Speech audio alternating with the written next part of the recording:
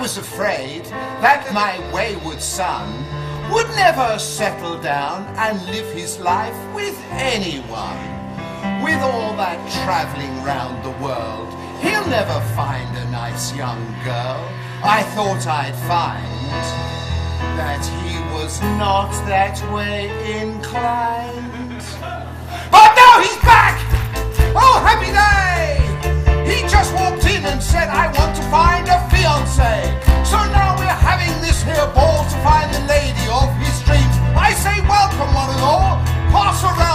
to. Oh, yes, he's back.